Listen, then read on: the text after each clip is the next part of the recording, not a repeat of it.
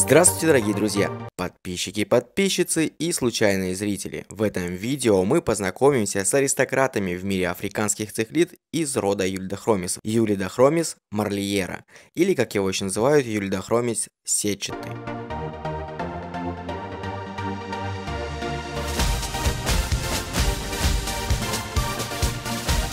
Стоит начать с того, что содержание всех юлидохромисов практически ничем не отличается. Они схожи в содержании, кормлении и разведении, однако на ваших экранах именно марлиера.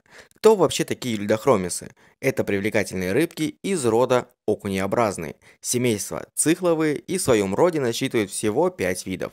Собственно, сам марлиери, юльдохромис ригани, дикфильда, Транскриптус,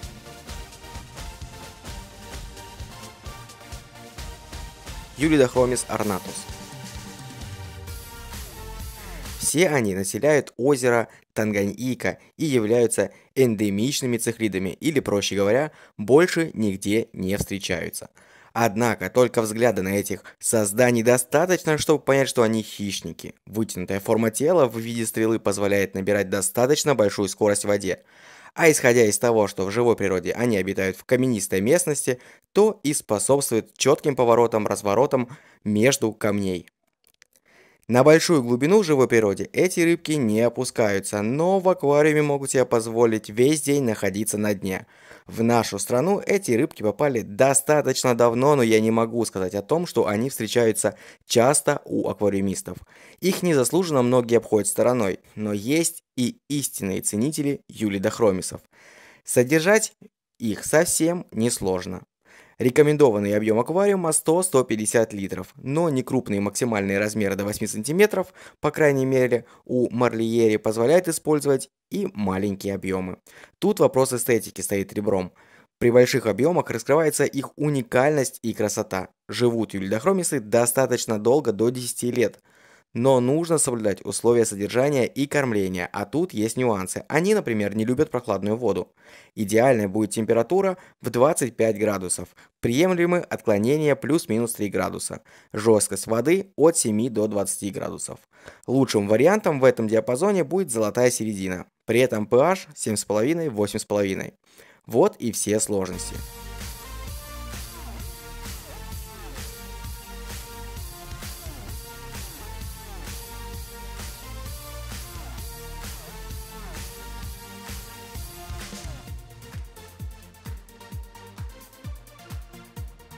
Оформляется аквариум для этих рыб не так уж и сложно, как и для любых других цихлид. Хорошо подойдет песок, крупные камни, можно, а в некоторых случаях желательно положить ракушки. Ну и как обычно в цихлидниках растения использовать можно, но желательно жестколистные с мощной корневой системой. Конечно же, обязательно аэрация и фильтрация воды.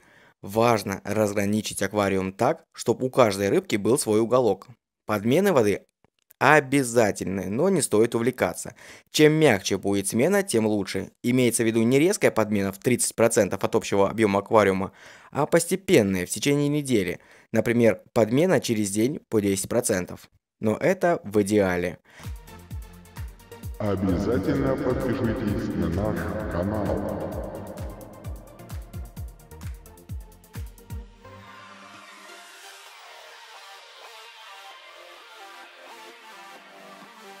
А теперь поговорим о том, какой характер у этих рыб и как они ведут себя с другими рыбками. Очень хорошо уживаются с африканскими цихлидами. С мирными рыбками лучше не сажать. Невзирая на то, что характер у юлидохромиса марлиера достаточно покладистый. Тем более, если аквариум до 100 литров. За свой клочок территории эта рыбка порвет всех и вся. Особенно, когда образуется пара самец и самка. Это происходит 12-месячному возрасту.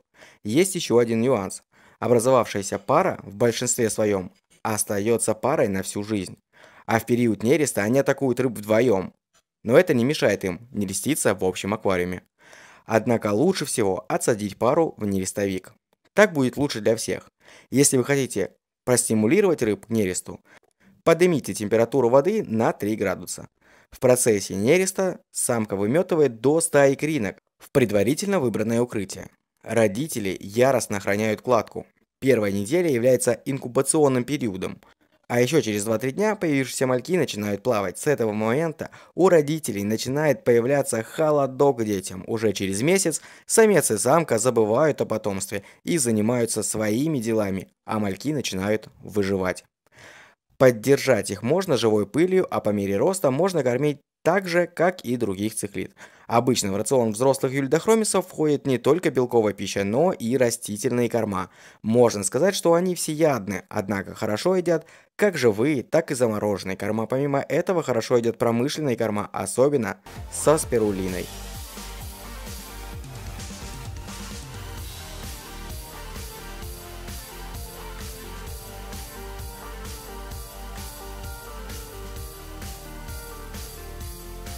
Основная забота в уходе за элюдохромисами – это вода, и только в этом сложность. Некоторые добавляют соль в воду для поддержания благоприятных условий, другие ищут иные методы. Из-за того, что необходимо контролировать показатели воды, я не могу порекомендовать эту рыбку начинающим аквариумистам. Хотя в целом уход достаточно простой. Кстати, возможно, у самых любопытных из вас появился вопрос о названии марлиера. Откуда оно и почему так? Все началось в середине 20 века. Эта цихлида получила свое имя в честь бельгийского ихтиолога Марлиера, который возглавлял научную станцию в Бурунди и внес свой огромный вклад в изучение танганьийской фауны.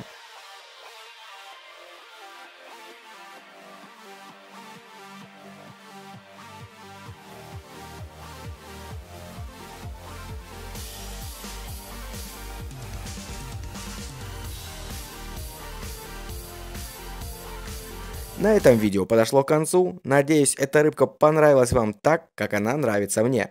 Обязательно подпишитесь на канал, чтобы не пропустить огромное количество новых интересных видео и пусть каждый из вас влепит свой клевый лайк. До новых встреч в новых видео. Пока.